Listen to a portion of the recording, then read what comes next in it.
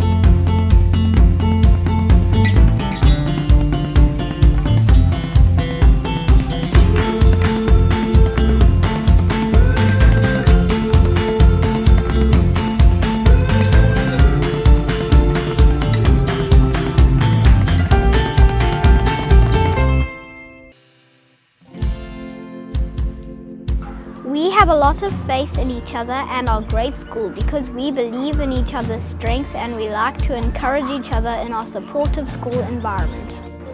Compassion means to have feelings of love, care and kindness in your heart. Courage is all about being brave and here at Epworth we are often cheered on to have a sense of courage so that we grow, live and learn amongst each other and in our world around us.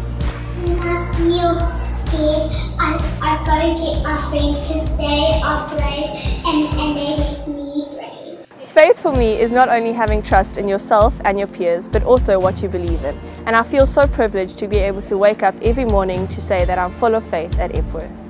Faith at Epworth means to me waking up every morning knowing that I'm going into a safe environment where everyone around me genuinely cares about me becoming the best version of myself that I can be. Compassion is actively trying to better the lives of the people around you. It's the hug you give to a sad friend, the smile you give to a complete stranger, and the bread you butter for a hungry child.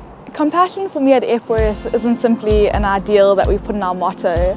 It's more of an action than a concept. It's an attitude. It's in the way you treat others, in the way you're treated, and in the way you treat yourself. Having courage at Epworth means being able to look out for other people's needs and especially those in our community. Courage for me is not having no fears, but it's rather having boldness and optimism in spite of your fears. Happy birthday, Epworth! Happy birthday, Epworth! Happy birthday!